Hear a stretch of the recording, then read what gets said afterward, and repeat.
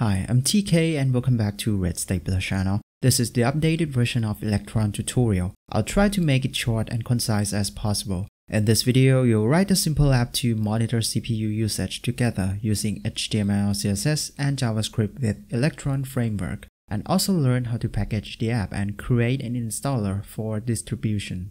Ready? Let's check it out.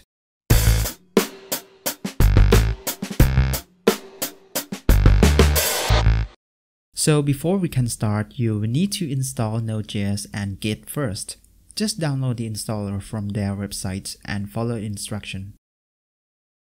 And here's the empty folder I created for this project. First, we are going to open git bash and install the Electron with npm install command.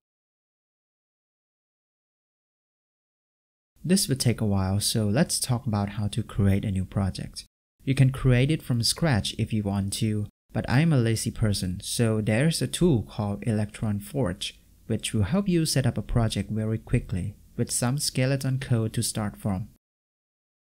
So once the Electron has been installed, we will install Electron Forge by using npm install create electron app.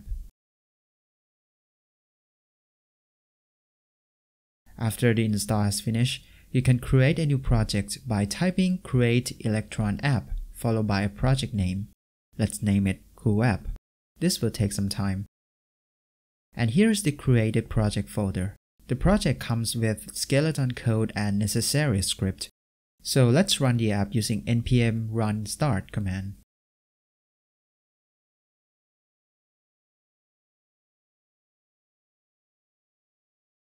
And here's the application. A simple text with developer console open.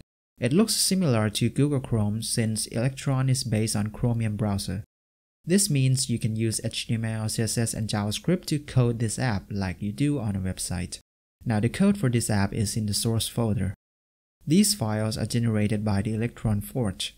I'm going to use VS Code to open it.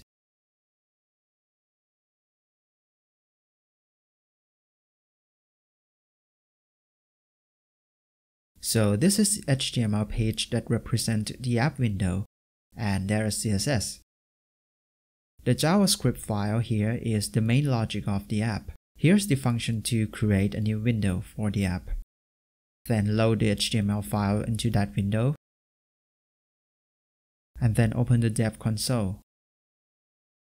Electron needs some time to initialize, so we'll call the function above on ready event and the rest of the code is to handle when user click the close button on the window or click the shortcut on the dock icon in macOS. This is why I use Electron Forge to create a new project instead of creating a new one from scratch. I just don't want to rewrite this code every time when starting a new project. So let's start coding. Since we are going to create an app to monitor the CPU usage, we'll need to use Node.js module called OSUtils. The cool thing about Electron is you can use any Node.js module or any JavaScript library for your app. So first install the OSUtils to our project using npm install command. Then import it to our JavaScript file using require.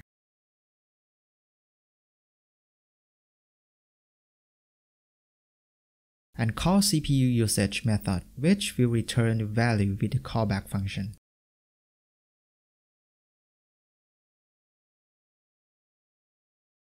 And I will print it on the console.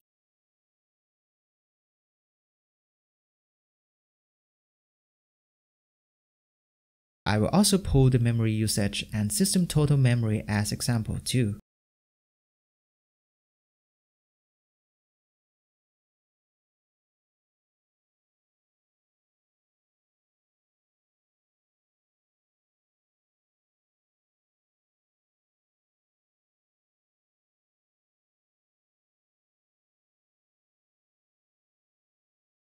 Now we'll run the app again with npm run start.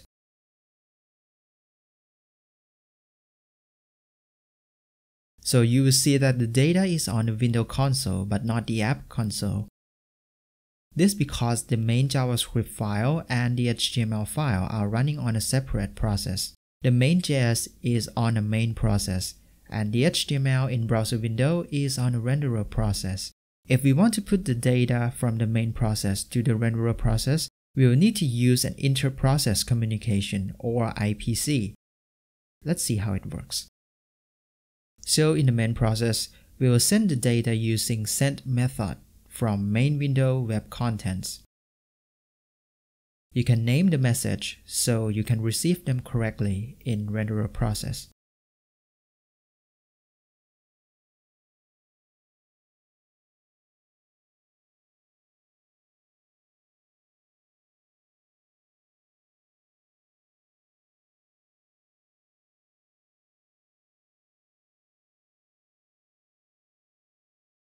The important step is to enable the node integration in the web preferences so we can use Node.js module in HTML file to receive the message. In the HTML file, first import electron.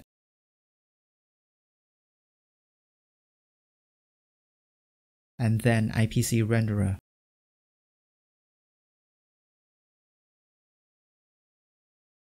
You can receive the message by listen to the message name.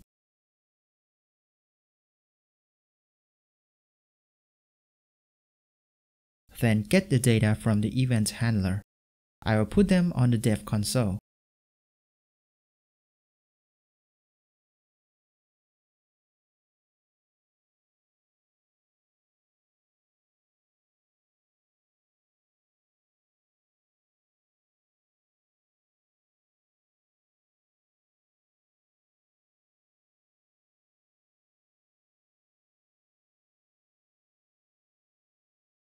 Okay, looks good. Let's run the app again.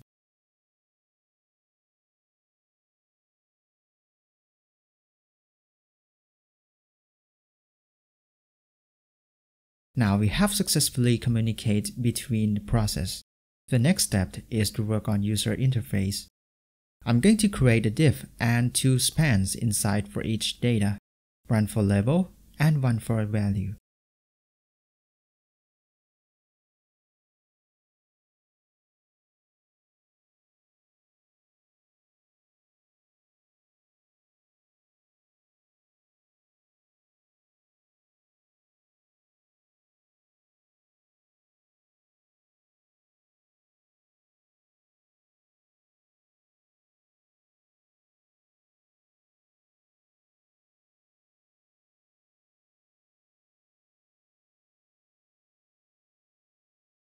Then the CSS first set the root element size to 100% of the viewport.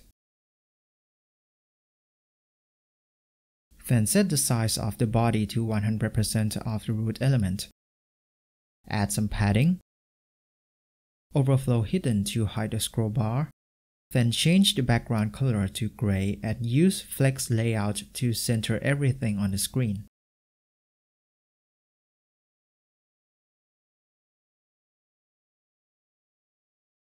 Then for each box, again, use Flex Layout to center.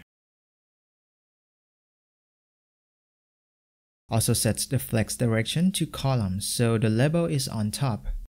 Then set the font size, line height, and padding.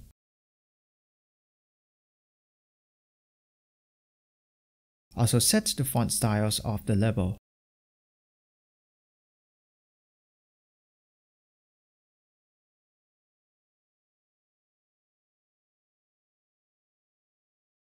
Finally, we need to add JavaScript to put the data we receive from the main process to span element. Just use getElement by ID and change the inner HTML.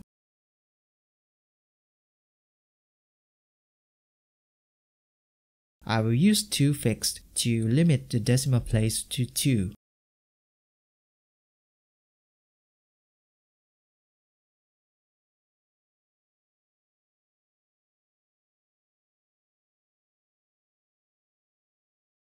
Let's run the app again.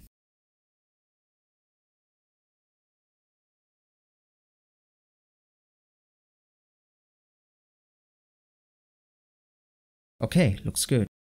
Now we will need to add code to refresh the data every second. Also the window is too small, so let's fix that in the main process. First, let's change the window width to 1000 pixels. Also change the app icon to the one in the source folder.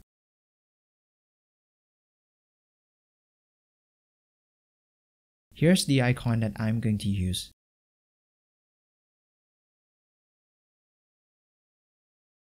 Next, use set interval to receive the CPU usage every 1 second.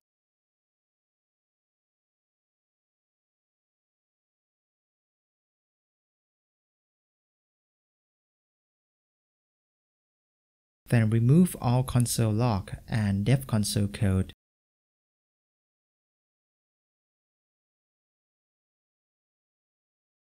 And run the app again.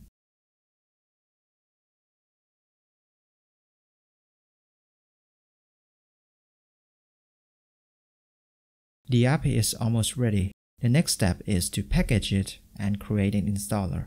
Actually, the Electron Forge can do this easily by just using npm run make command.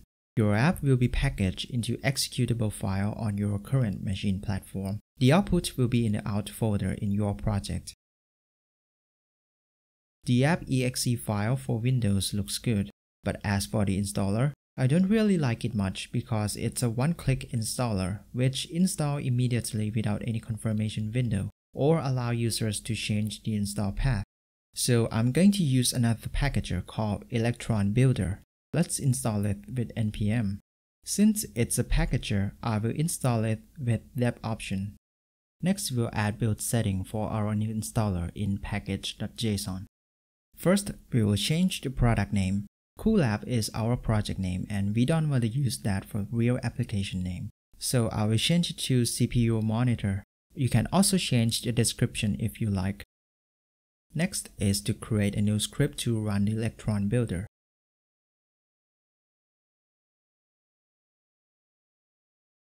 So now we can build the installer by typing npm run build installer.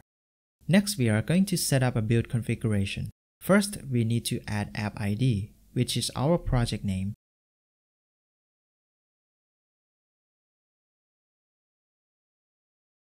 And Win for window platform which then we will set the target to NSIS, which is an installer type that we are all familiar with. Then set the app shortcut icon to our app icon. Then this is optional. If your app needs to run as admin, you can set the requested execution level to require administrator. Then for NSIS section, we will change the installer and uninstaller icons.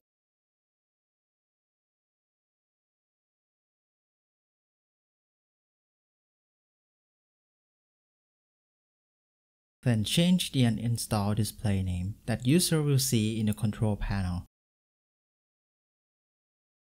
If you want to show the app license, you can add path to the license file here.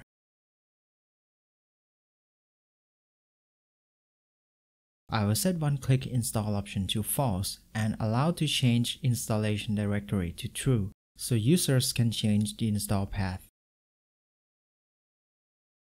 Then create a text file for our license.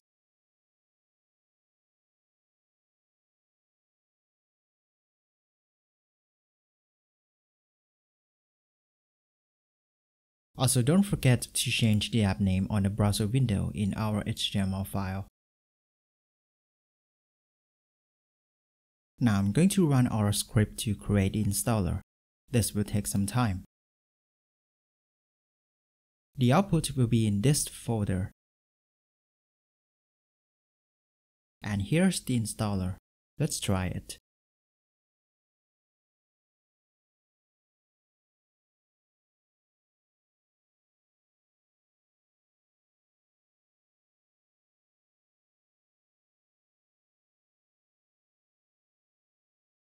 And here's our app name on the control panel. And that's all for this tutorial. You can find source code in the description box below. I hope this video helped you get started with Electron Basic. If you want to see more web tips and tutorials, subscribe this channel to stay tuned for weekly update. Thanks for watching. See you next time. Bye.